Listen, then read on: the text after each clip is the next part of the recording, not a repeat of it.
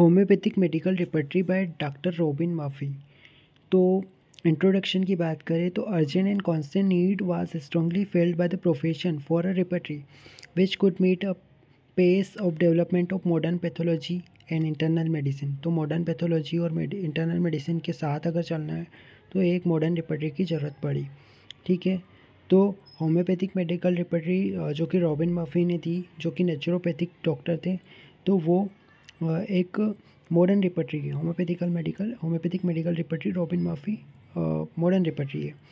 Robin Murphy जो थे, वो first law for history of medicine in America 1970 to 71 while going through the various medical literature, he came across some homeopathic journals from 80 1800 which were lying ideal तो उनको ideal लगे और इसकी वजह से उनने क्या किया कि उनने होम्योपैथी सीखा और फिर होम्योपैथी के जनरल्स को स्टडी किया वेरियस मटेरियल को स्टडी किया, ठीक है?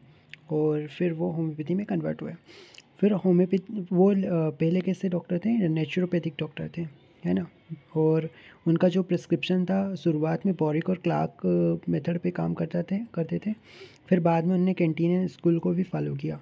क्लासिकल होम्योपैथी भी उनने लर्न की बाद में लेटर रॉबिन माफ़ी जो थे, उनने इगिप्टियन मेडिसिन से मैं उनको काफ़ी इंटरेस्ट था मेडिकल एकेडमी इगिप्शियन मेडिसिन में उनको काफ़ी इंटरेस्ट था और उन्हें हैनिमन वर्क को फाइंड आउट किया, ठीक है? और इन्हें ये फाइंड आउट किया कि एनिमन का जो वर्क है वो काफ़ी सिमिलर है पैरासेल्सिस के वर्क से, जो कि इगिप्शियन मेडिसिन में दिया हुआ है, ठीक है?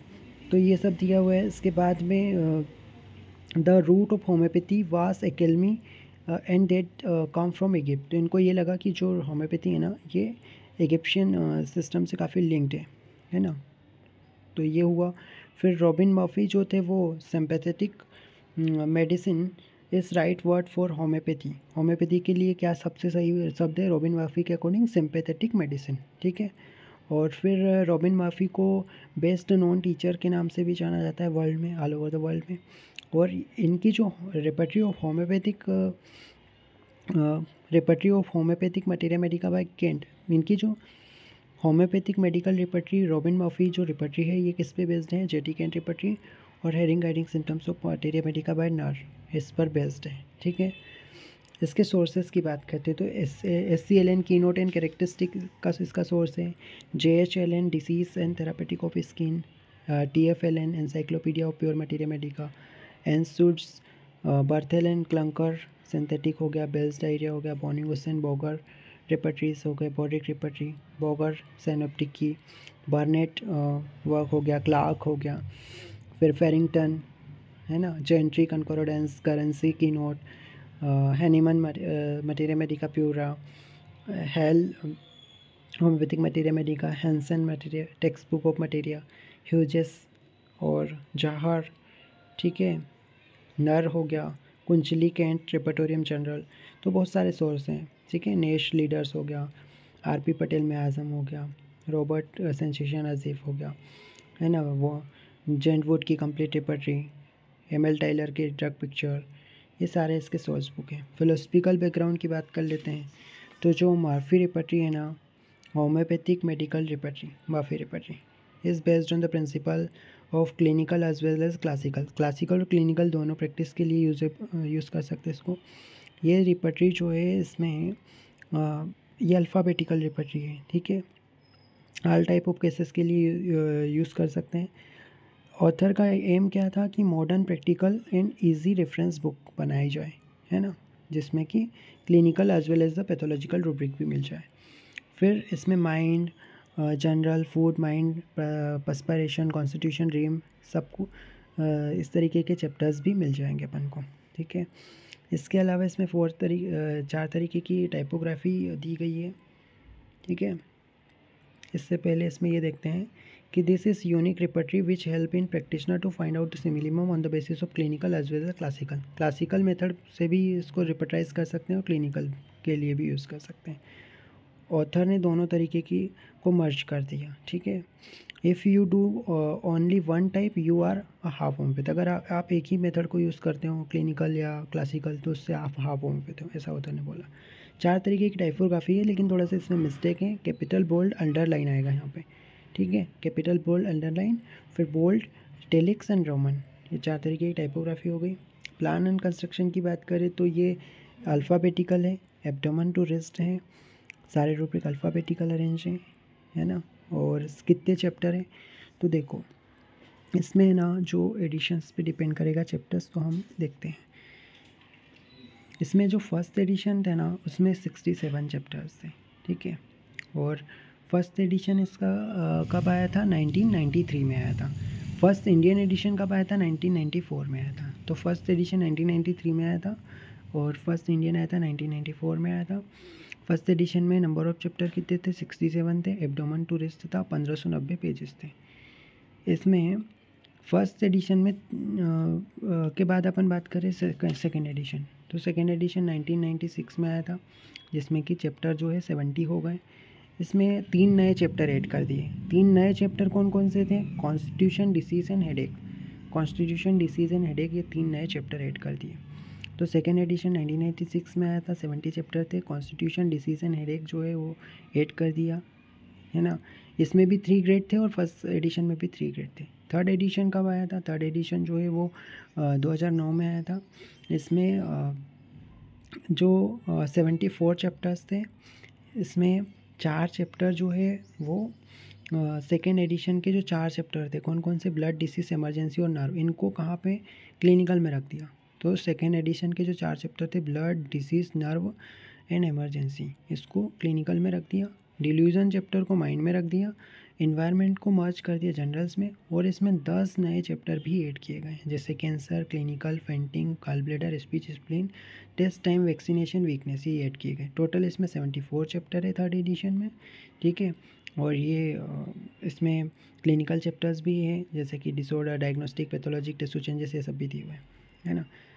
इसके चैप्टर्स की बात करें तो abdomen ankle arms back bladder bones brain breast breathing cancer chest children chills clinical constitution coughing dreams ear eye elbow eye face fainting feet female fever food gallbladder generals glands, hands, head, headache, hearing, heart, hips, intestine, joint kidney knee larynx legs limbs liver lungs male mind mouth muscle neck nose pelvis perspiration pregnancy pulse rectum shoulder skin sleep speech spleen stomach stool taste teeth throat time tongue toxicity urine vertigo vision vaccination weakness rest दिया हुआ है।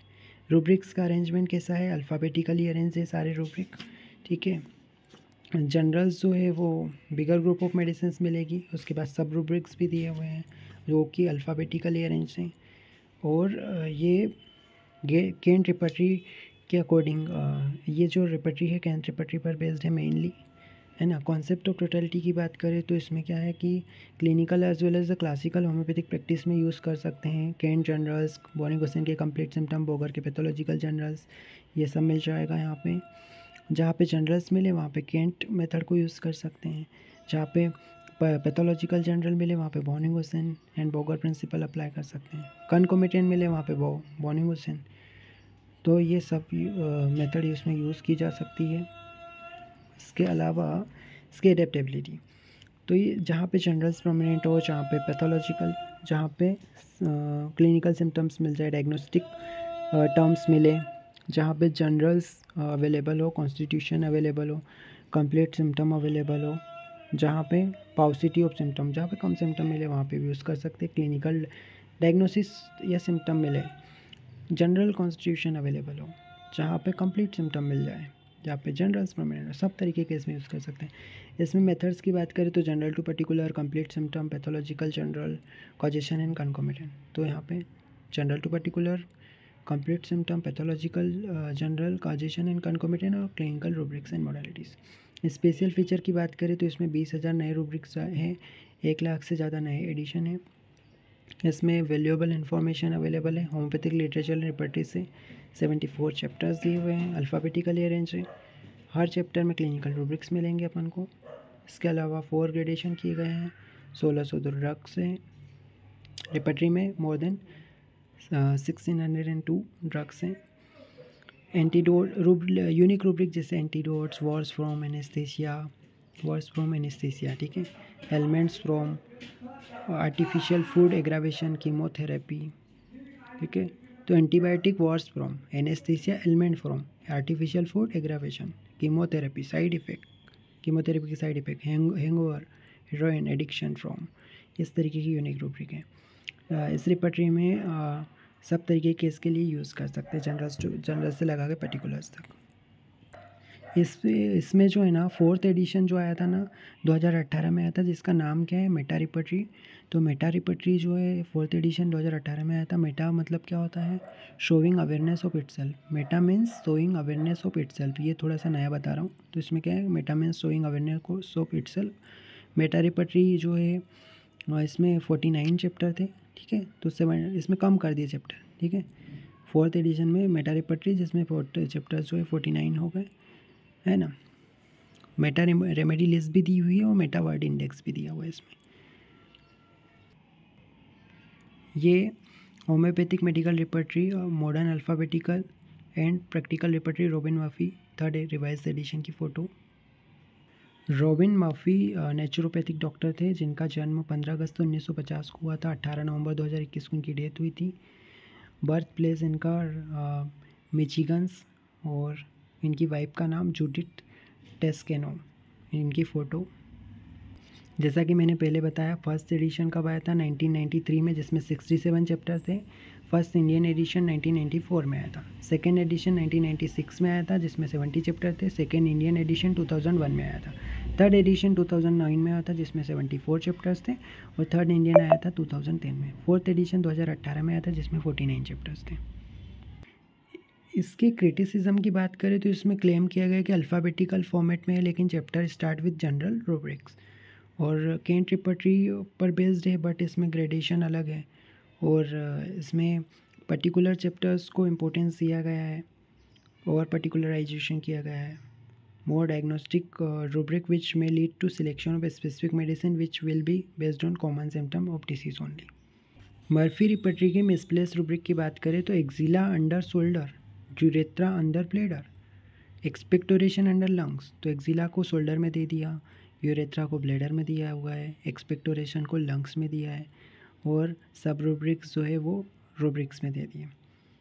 Eruption in different chapter are arrange in scatter manner gradation देख लेते हैं जैसे इसमें capital bold underline four marks bold capital three marks bold italics two marks और plain small तो capital bold underline bold capital bold italics और plain small